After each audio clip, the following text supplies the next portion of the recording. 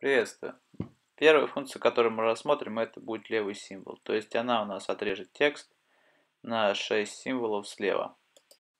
Далее функция PSTR, которая поможет нам вытащить текст из центра.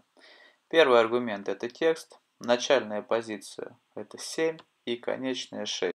То есть ей нужно будет начать от начала строки через 7 символов и вытащить оттуда 6 символов. Для того, чтобы найти номер объявления, мы также будем использовать функцию PSTR. Только за место начальной позиции мы будем использовать функцию найти, которая найдет нам расстояние до буквы М. Количество знаков мы введем с запасом, в данном случае 20.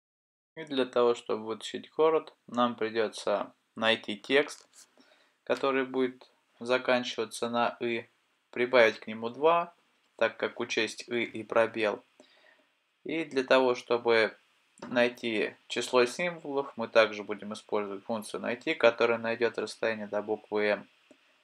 Вот. И вычтем из этого расстояния расстояние до буквы и, тем самым получится количество символов, которые нам нужно будет изъять из столбца D. И отминусуем минус 2. Протянем и, пожалуйста, результат. С вами был Полянский Алексей. Всего доброго. До свидания.